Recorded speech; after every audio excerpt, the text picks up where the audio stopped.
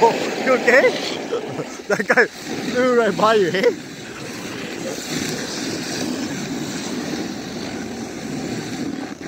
Hey?